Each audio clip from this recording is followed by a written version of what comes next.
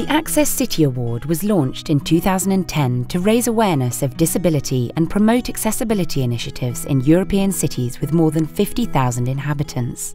The prize is about ensuring equal access to city life for people with disabilities and the elderly. Each year, it recognises cities across Europe which have risen to the challenge of making accessibility a priority. Today, on the European Day of Persons with Disabilities, we reward seven cities which have made it possible for disabled and older people to fully participate in their communities. Among the thousands of cities which are eligible to apply for the award, these seven cities are acknowledged today for their ambitious initiatives in the hope that they will inspire other cities across Europe to recognise the importance of accessibility, not only in the interests of disabled and older people, but also in the interests of city dwellers across the whole continent.